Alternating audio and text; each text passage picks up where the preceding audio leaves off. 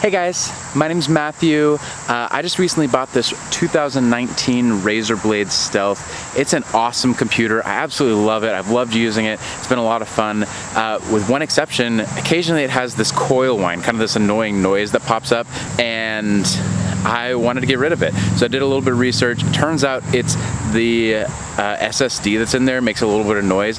Don't understand why because it's solid state so you wouldn't think there's anything moving but it does something about the power input. Apparently just replacing the SSD uh, fixes it according to the forums online but there are no videos of it so I wanted to show you guys the video. If you're looking, if you're not sure how to do this, uh, here's the one. It's pretty simple. I'll also put some links in the description kind of showing you where I found some of my info. Um, so other than that we'll dig right into it.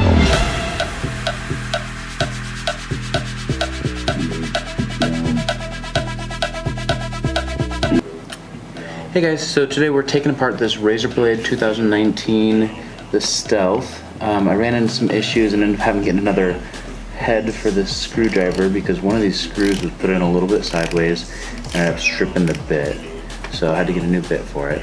Um, basically what we're doing today is we're looking to uh, get the SSD replaced and today we're going to be replacing it with this guy here. This is the uh, 970 EVO. Um, this is M2, so um, hopefully it's gonna be a little plug and play action, not too much tr trickiness here. Hopefully our biggest headache is gonna be the fact that I just stripped that one bit. And the rest of these screws should come right out, no issues. Um, but I do just want to say be really careful when you're taking out these screws. They come out with T5, so the Torx head, um, they're all those star bits. They don't come out too difficultly, but just be careful because you can apparently strip either the screw or the screwdriver bit pretty easily. So be careful about that. Down. Get, get, get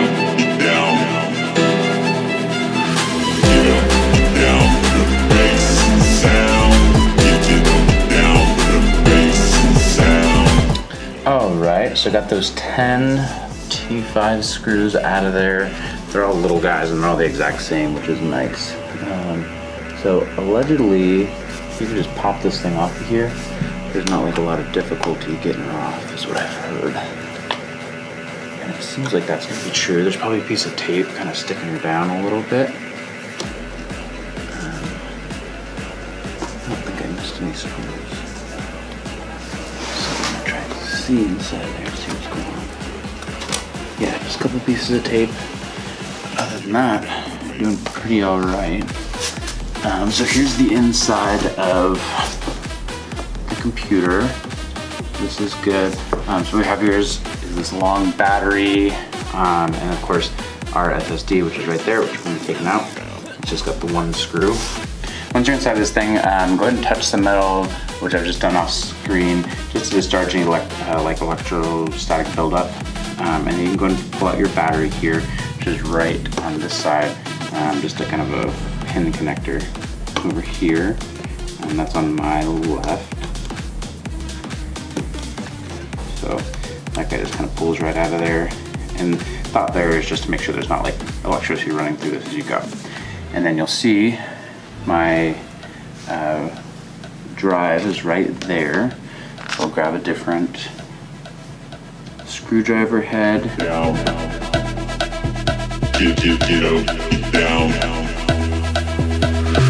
Get up, get down, the bass and sound. Get, get up, down, the bass and sound.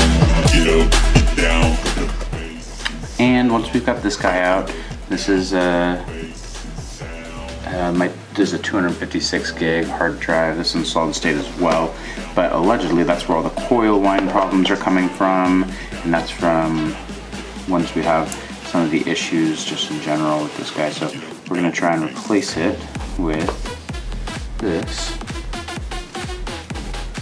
And let's see.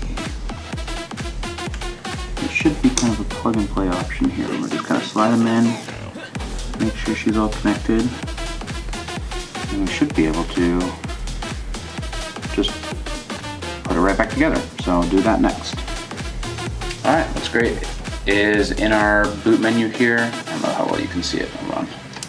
Okay, in our boot menu here, um, it's telling us that we've got the Samsung SSD 970 EVO one terabyte. Uh, that's positive because that's exactly what's in there. So we'll go ahead and shut this guy down now. And then I want to just talk about a couple things going on back here that I really like about this computer. Um, some of the things that I really just appreciate. So one of the big ones is here, I just love these um, heat pipes, these big copper pipes that are rolling all the way across here. Um, that's huge for keeping the temperature down.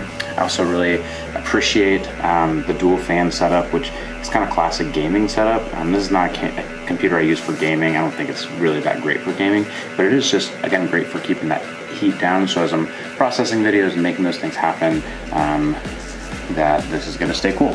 So I really appreciate that. Um, other than that, I love it. It's a 13 inch uh, book with a dedicated GPU. That's huge.